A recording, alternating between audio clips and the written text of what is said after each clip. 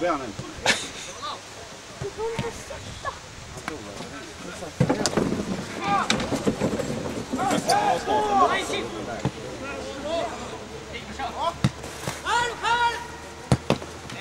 Bra.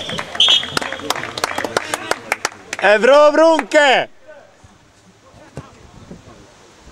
Vad bra nu ser ser målen lite bättre. Ja, Iversen tredje va? Iversen tredje, han kommer att göra fem mål idag.